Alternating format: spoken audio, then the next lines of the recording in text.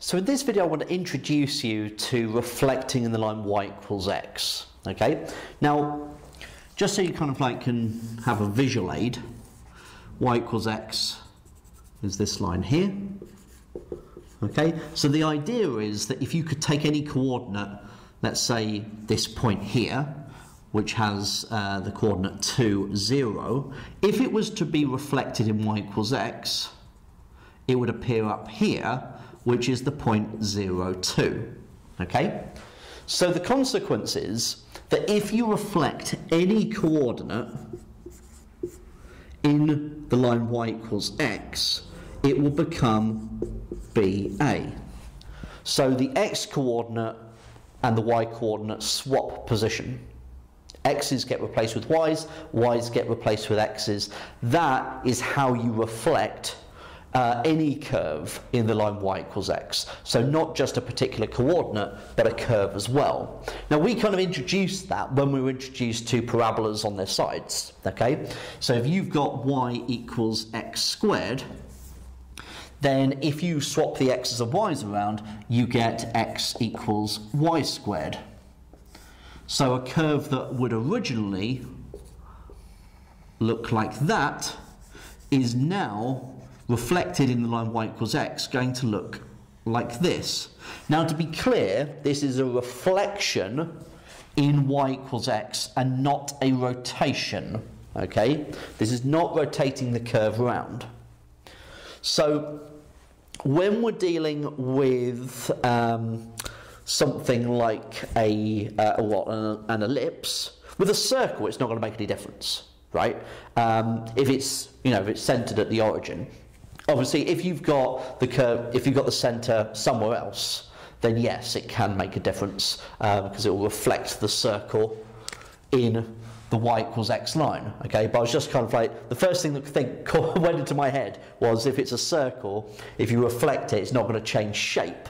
Okay, the, so the shape won't change, but it could potentially change position as to where it is. But shape-wise, it won't change.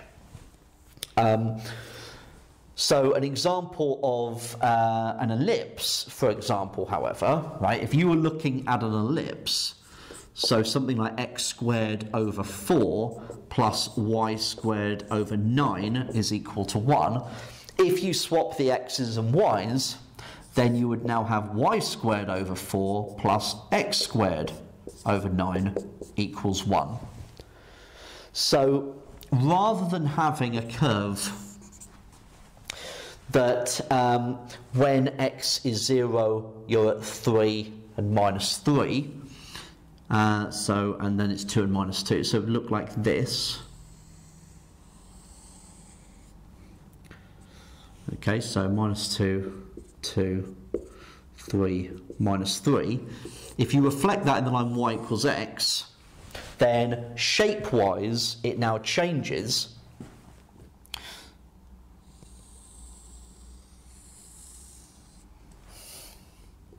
So it's now between minus 3 and 3 and minus 2 and 2 that way instead. Okay, so that's what the reflection would do. Now, um, but for the circle, it's not going to change its shape, but it will change its position if it's not centered at the origin. Okay. Now, for the hyperbola, your general form of a hyperbola, x squared take away y squared equals 1. Okay?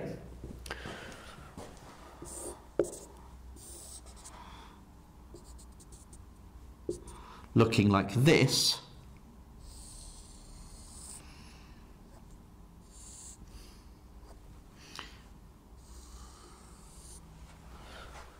Well now, once reflected, you're looking out for y squared take away x squared equals 1.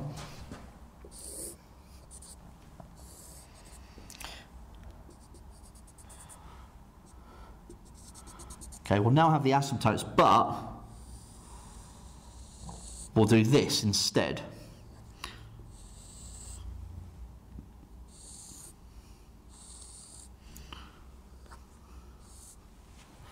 And so it'll be the other way up when it's reflected.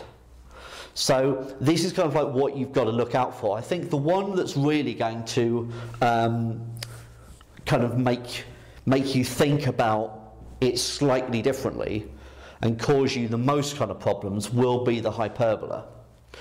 The ellipse really won't because because of the addition, you know, now it's just x squared over 9 plus y squared over 4 equals 1. And so you can just kind of adapt it straight in and just go, well, it's just drawing a normal ellipse. Um, and with quadratics, well, it's this kind of type that we generally look at anyway, okay, when we're in further maths, rather than something like that, because that's something that we would sketch in A-level, ma A-level maths. But with hyperbola, right, this is where the differences start to come in, and you've then got to think about, okay, well, what about asymptotes, right?